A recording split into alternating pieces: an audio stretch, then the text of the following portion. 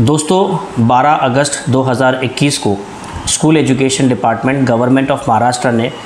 School की fees को लेकर एक जीआर निकाला है और इसमें महाराष्ट्र के तमाम प्राइवेट स्कूल्स को अपनी स्कूल की फ़ीस 15 परसेंट से कम करने या डिस्काउंट देने की बात कही गई है।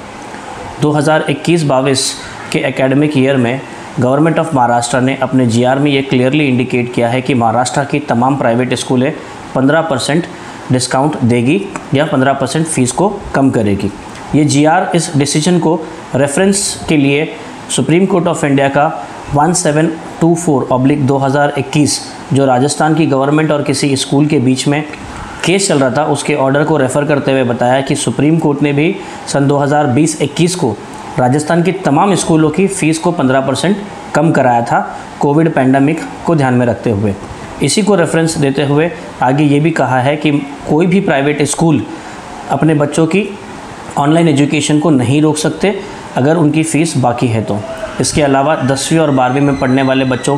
के पेरेंट्स को ये भी बताया गया है कि अगर कोई स्कूल या कॉलेज दसवीं और बारहवीं के बच्चों के एग्ज़ाम्स या उनकी पढ़ाई को रोकता है फ़ीस को लेकर तो उस स्कूल या कॉलेज के ख़िलाफ़ कार्रवाई भी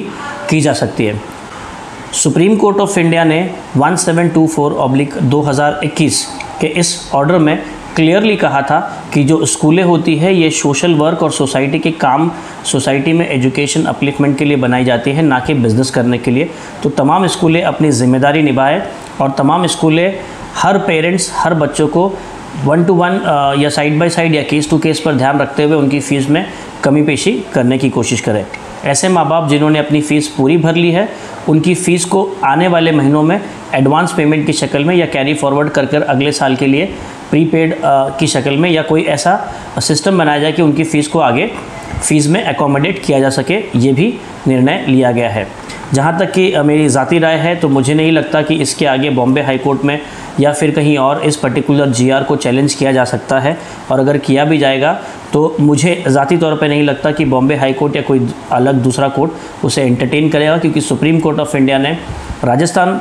की तमाम स्कूलों को लेकर सन 2020-21 में 15 परसेंट फ़ीस कम करवाई थी। उसी को पेश नज़र 2021-22 को महाराष्ट्र में भी 15 परसेंट फ़ीस कम होने का फ़ैसला जो लिया गया है, ये बहुत ही सही फ़ैसला लिया गया है। आप तमाम लोगों से गुजारिश है कि ये वीडियो उन तमाम पेरेंट्स को दे जो अपने बच्चों को प्राइवेट स्कूल्स में पढ़ाते हैं, और आप सबका बहुत बहुत शुक्रिया।